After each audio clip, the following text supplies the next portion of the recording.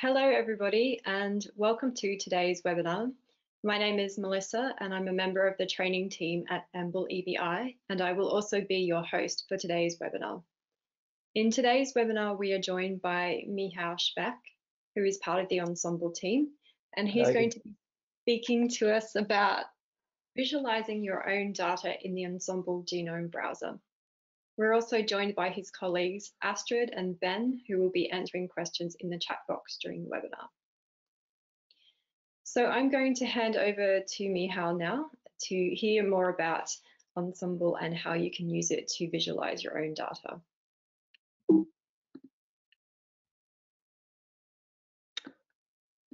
Thank you, thank you, Melissa. Um, hello, everyone. So welcome to this Ensembl webinar. As Melissa said, my name is Michał and I'm here with my colleagues Astrid and Ben, who will be answering your questions in the chat box during the presentation. Um, and the structure for today is a short presentation with three demos, so I'll have to toggle between the slides and the browser. And there will be some more time for any outstanding questions at the end of the webinar. So today, I'm going to show you how um, you can visualize your own data in the um, Ensembl Genome Browser. So Ensembl allows you to upload your upload your own data and display it in the browser, plotted along the genome. And there are two ways of doing it, depending on the size of your data. Um, for small for small uh, files, you can upload them directly to Ensembl. And in that case, we save the data. Therefore, it's not possible um, for large files above 20 um, MB to be uploaded in that way. For larger files, um, they need to be attached as remote files, which means you first need to put them online on either HTTP or FTP site and provide a link in the Ensembl. Basically, um, point the Ensembl towards the file. There's no size limit um, as we do not host those files. So in that scenario, you can make the files as big as you want. So what is great about visualizing your own data in Ensembl is that you can save them to your Ensembl account and the Ensembl accounts are totally free. Um, you do not get you don't you do not get any correspondence from us. Um, you can then share um, your data or the visual representation of it with your collaborators. You can also generate nice figures, which you can then use in your research um, as um, Ensembl is totally uh, free to use. It's open access. On the downside, um, we only offer trivial security. So when you upload your data um, to Ensembl, it's not being incorporated to our database. It doesn't become public and nothing like it, but we don't have a bank level security. So we cannot protect your data from, from being hacked basically. Therefore, please bear in mind if you're working with sensible data like patients' data, that it should be um, pseudonymized before uh, putting it online. So we support a bunch of different file formats, um, allowing for um, visualizing features like genes or variants or structural variants. Um, also, um, you can also plot different values and scores. Uh, you can plot them along the genome as well um, as you can visualize reads aligned to the reference, for example, BAM files.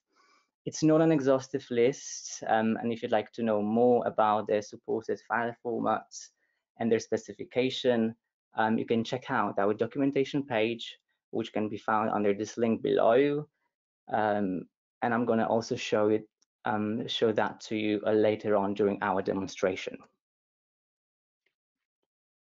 So if you're working with larger files and you wonder um, how to host them online, we recommend either FTP sites if your institute, if your institution has one.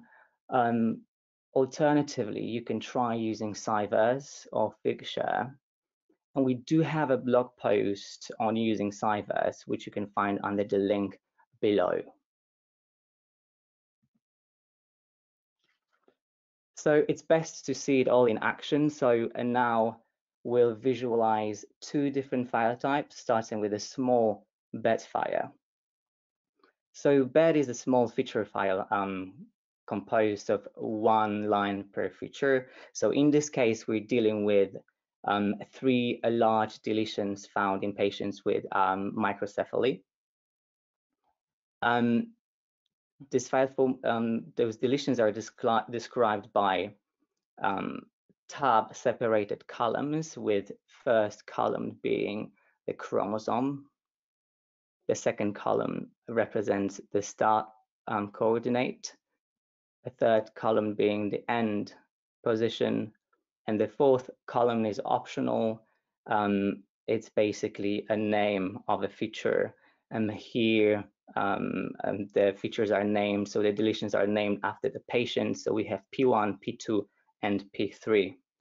Um, there are also extra columns that you could add, um, and you can read more about bed files um, in our documentation pages. So I'm going to jump out of the presentation now. I'm going to copy.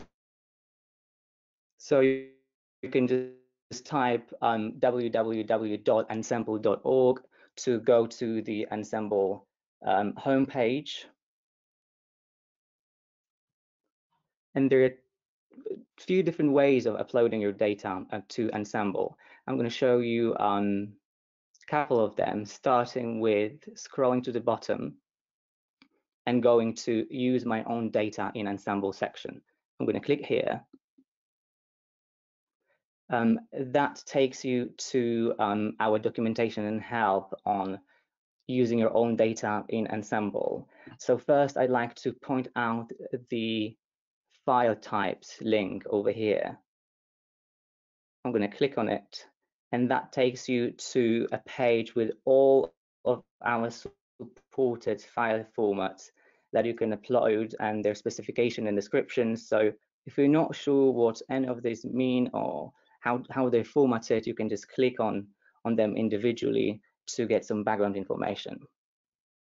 So for example, I'm going to click on bed file, um, which takes me to um, documentation and, and detailed description of this file format. So for now, I'm going to go back using the back uh, button in the browser So I could upload my data by clicking on this blue button here, um, which reads custom tracks. Uh, that should take you straight to the data submission form, but I'm not going to do it just yet. I'm going to show you other way of doing it. I'm going to click on the Ensembl logo to go back to the home page. So the other possibility is to use species homepage. So I'm going to click on human. Where you can find display your data in Ensembl link. This link is should take you to the data submission form, exactly same data submission form, um, where first thing to do is to provide a name for our data. I'm going to name it a bed demo.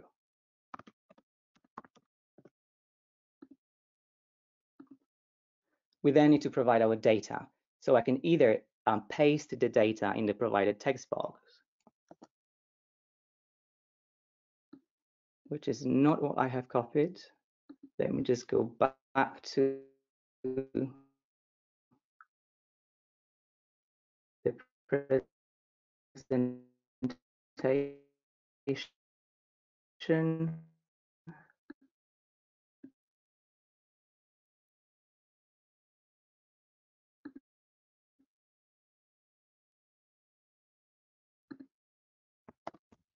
Mm, here we are.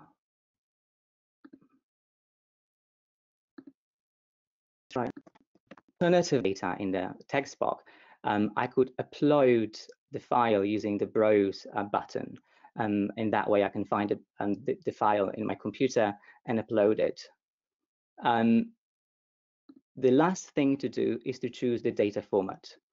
I'm going to click on the drop-down list and I'm going to choose bed. um, if I chosen a file from my desktop or from my computer, Ensembl would automatically recognize the extension and would have chosen the file format for me. But by, by pasting the, the data in the um, data box, um, we have to provide, we have to specify the data format. So the last thing to do is to click on the Add Data button.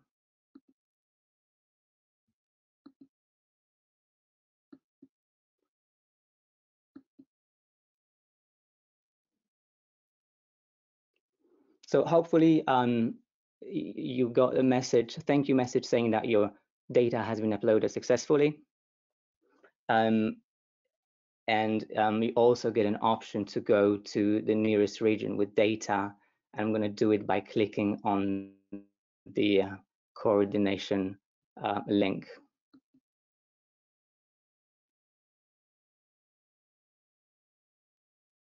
That takes you straight to the location tab, region in detail view, um, which contains the data um, that we just uploaded. It might take a while to load depending on your internet connection.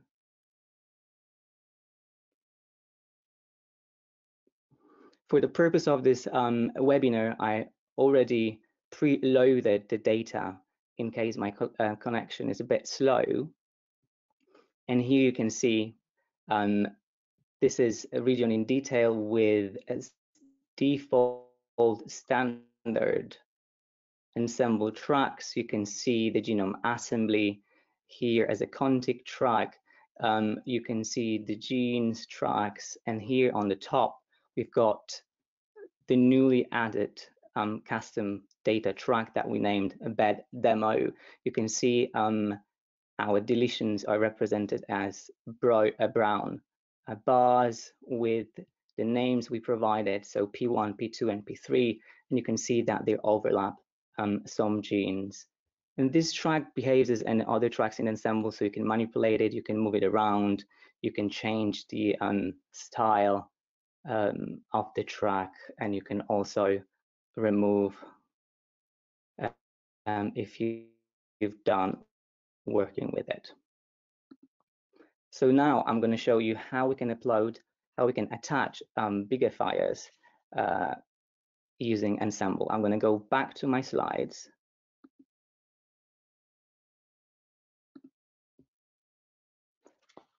Um, and we have a second demonstration where we're going to visualize um, the RNA-seq Illumina reads from a human chromosome 20. Um, this BAM file can be found under the following link. So have a look, let's have a look at the um, online folder containing the file. I'm just going to copy this link and I'm going to go back to the browser.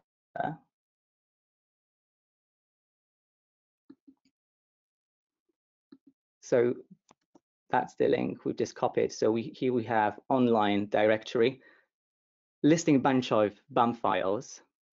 Um, you can see that all of those BAM files, they have a corresponding index file, uh, which is basically bam.bai.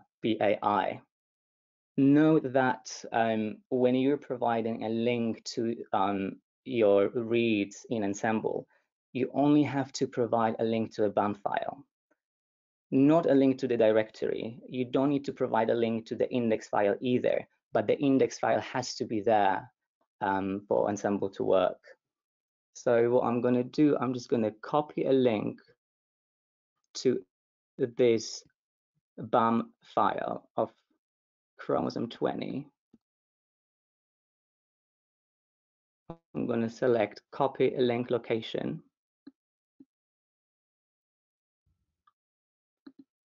And then you can add your custom data as well as directory from um, the location tab by clicking on custom tracks a blue button. even though it's going to be all listed here in this table, but we want to add some more data. So I'm going to click on this blue button here, add more data. We have to provide a name for our track. I'm going to call it uh, BAM demo this time. And now um, all I have to do is just to provide the link or URL to um, the file, which is hosted in a public directory. Um, I can uh, paste the link directly here. And in this, this case, you can see Ensembl automatically recognize the file extension and picked the data format for me. All I have to do now is just to simply click on add data.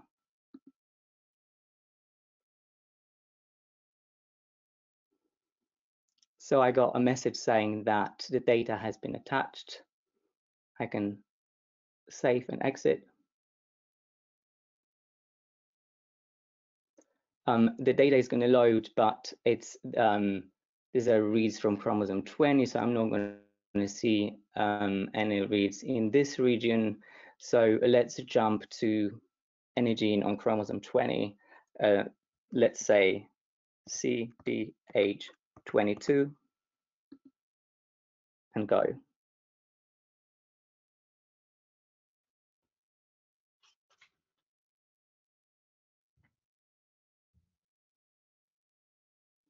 And again, you know, it's quite a big file containing lots of data and lots of read, therefore it might take a while to load. Give it a minute, give it some time. And again, for the purpose of this webinar, um, I've got the data pre-loaded in another tab for you. So here we have um, our gene CDH22 on chromosome 20. And again, you can see the default Ensembl tracks and then new track with our BAM file named BAM demo. Um, the gray peaks or the histograms represents the reads coverage. You can see that the reads are actually split into two tracks, forward and um, reversed. The actual reads are um, represented here below the coverage. And let's have a closer look um, by drawing a box around one of the, the peaks and jumping to this region.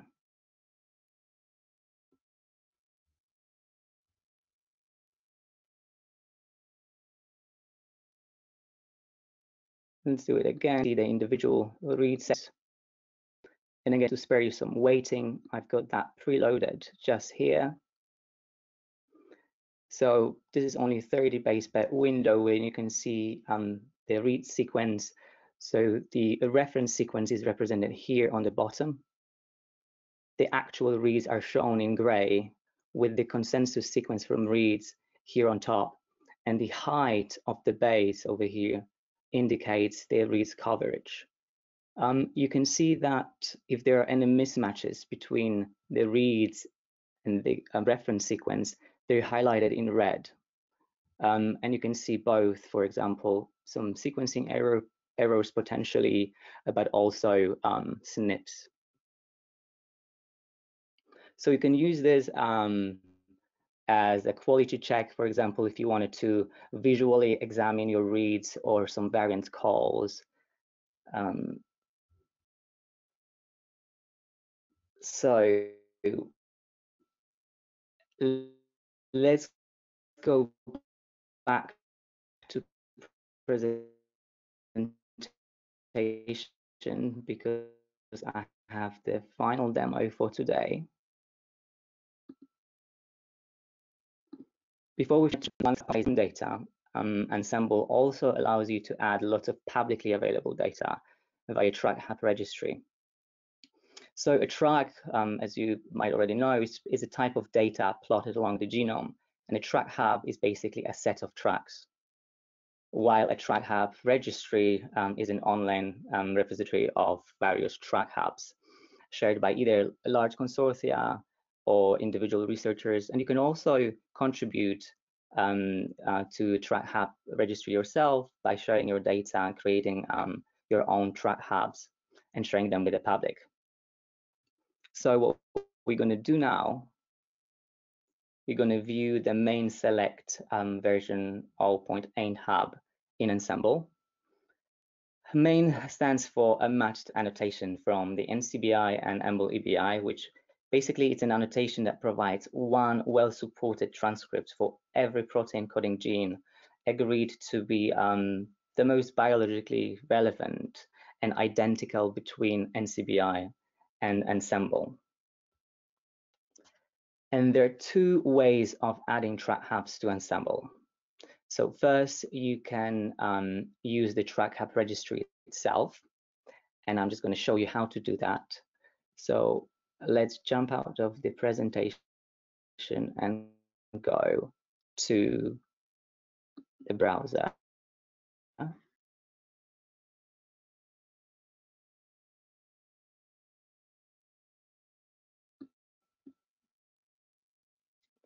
You can go to um, registry by typing www.ready.org, and that's the homepage.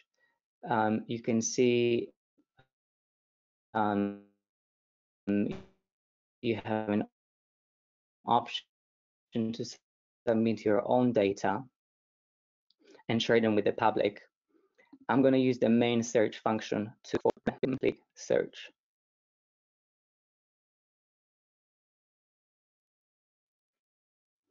You can see two hits returned. Um, since it's a duplic uh, duplicated track.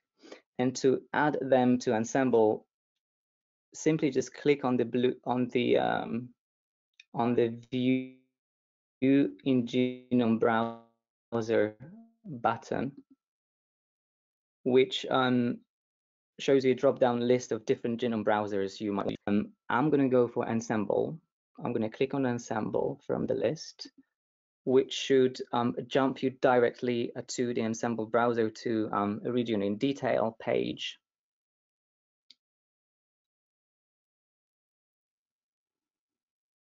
And again, it might take um, a while to load. Here we are. Um, you can see that the MANE Select hub has been added to um, to Ensembl. I'm just going to click save and close.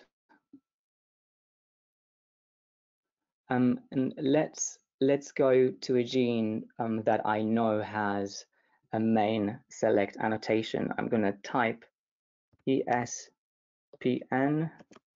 as a gene name and click go.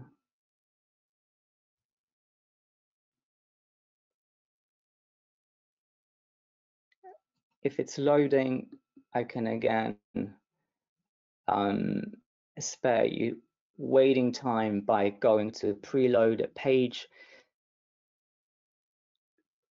You can see um, that this gene has um, multiple um, alternative transcripts, um, while the newly added track um, MANE Selects only lists one most um, representative transcript from both Ensembl, indicated here in red, and from RefSeq in blue. You can also search for tracks, TrackHubs um, here in Ensembl. To do so, just click on Custom Tracks. And then from the left-hand menu, select TrackHub Registry Search. I could type MANE over here and search for it. As you can see, those hubs are already attached. Once, um, once you don't need your data anymore because you've done working with it, it's a good practice to delete or at least disconnect um, your tracks as a large amount of data might slow Ensembl down. To do so, go to custom tracks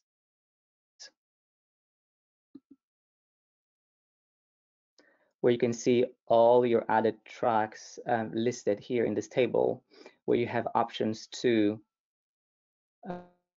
um, either share them or permanently delete or just temporary um, disconnect. So I'm just gonna um, disconnect all of them. Um, and then I might just save. This is the end of our demonstration. I hope you found it useful. And there are just a couple of general things to wrap up before um, we move on to questions. Let me go back to our presentation. If you'd like to know more, um, we have a bunch of online courses and recorded webinars and lots of help and documentation on, on our online pages. Uh, we also have a YouTube account uh, with recordings of webinar like that one, but also uh, longer courses. If you have any questions, please drop us an email at, uh, at helpdesk at ensembl.org. We also have public mailing lists that you can join for more information and updates. Follow us on social media on either Facebook or Twitter. We also have a blog, which I mentioned before. You can find extra information there.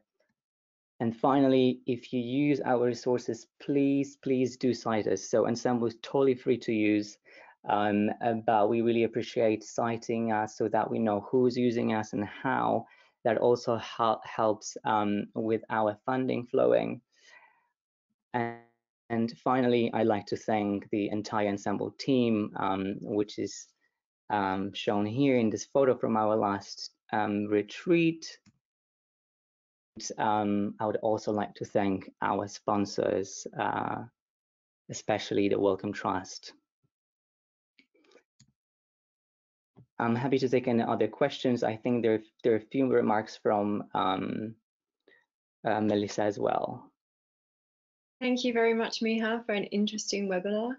Firstly, thank you to everybody for being patient with the few sound blips we had there. As you are no doubt aware, the uh, coronavirus situation has changed things a little and we're now broadcasting from our living room. So thank you for being patient. This webinar is part of our regular Wednesday afternoon webinar series. So usually every Wednesday we run a webinar on one of the EBI training resources. All of those are free and you can find out more information about those on our website. So we do have time for questions. Uh, Astrid and Ben have been very busily answering questions throughout the webinar. If there are any more questions, please do write them into the chat box and we can read a few out. So there is a question coming through and forgive me if this is one that's already been answered. It is, can you use a SAM file? Um, so SAM files are um, so BAM files are like compressed SAM files. I'm to be honest, I don't remember off the top of my head, but I'm sure Ben and Astrid would know. I, I'm not. I don't. I'm not entirely sure. So Astrid has answered into the chat box that SAM files are not currently supported and that you should use a BAM file instead. So another question that's just come in is from someone who's thinking about submitting uh, genome data to GenBank. Is it a problem if it's previously been uploaded in Ensembl? Yeah, there shouldn't be any problems with with um, data being um, already available in Ensembl and then submitting it to GenBank. Okay, thank you. So there was a, a question about the types of file types. Are they dependent on what you want to visualize? So yeah, what was the, the example? Do you have to use the BAM example, file to? Or NGS or VCF file for variants? Yes, that's right. So um, basically the file type underlines the data type that you wanna you want to visualize or you, you, work with, right? So VCF files contain um, information on variants. So if you want to plot your variants along the genome, you're going to use VCF file. If you want to plot alignment, you're going to go for data types and data formats that store alignment files, like, for example, uh, BAM files. Okay, thank you. So one question that's come just come through is, is Ensembl part of the UCSC genome browser? And no, UCSC genome browser is another genome browser. Um, it's totally independent from Ensembl. Okay, thank you for clarifying that. Are there any more questions this afternoon? Oh yes, there is one that's just come through. So the question is, with human data, we often need to work on secure servers with no internet connection. Can the Ensembl site be mirrored um, so that you can visualize tracks for this type of data? Hello, can you hear me now? Yes. Sorry, I lost connection again. What was the question? Uh, the question was about using human data and needing to work on secure servers. Is yeah. there a way that people can use this in a secure environment? Mm. Um, so again, I'm I can't name any off the top of my head. I'm sure there are ways of either you know working with Ensembl offline or, or, or finding some secure um, connections. And again, um, if you'd like to know more about that, just drop us an email and I can I can you know ask around and look it up for you. Drop us an email at uh, helpdesk at ensembl.org. Okay, thank you. Okay, seeing as we're we're having a few internet problems this afternoon, I think we're going to wrap up the webinar. Thank you very much, Michał, for presenting the webinar and to Ben and Astrid for answering questions as we went through. Thank you for Thank joining you. us today and we hope to see you again in another webinar very soon. See you next time. Goodbye.